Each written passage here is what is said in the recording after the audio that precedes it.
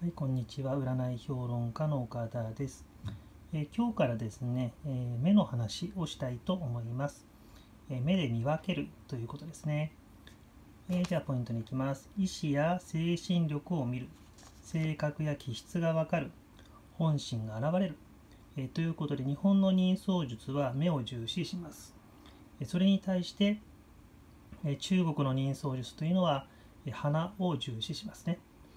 ではいきます。目は心の窓と昔から言い伝えられ、人の心を打ち出す鏡のようなものと考えられてきました。感想の達人は目を見た瞬間にその人の全てが分かってしまうと言います。また目は口ほどにものを言うとも言われ、言葉と同じぐらいに雄弁で本心を見抜くこともできます。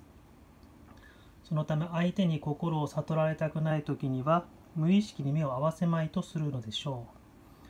心の清らかな人は目も澄んで美しく、社会で目を出すとも言われています。目の大きさ、形、位置、目の動かし方など、目にはその人の性格や気質が現れ、えー、感想の基本となっています。えー、まあ、最近これは脳科学で言われますけれども、目というのは脳から直接出た神経ですから、目つきがおかしいっていうのはちょっと脳が異常なんですよね。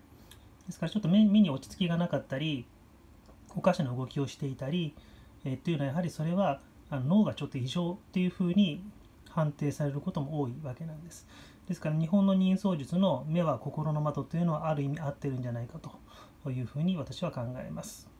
えー、では、えー、しばらく目の話をアップしていきたいと思います。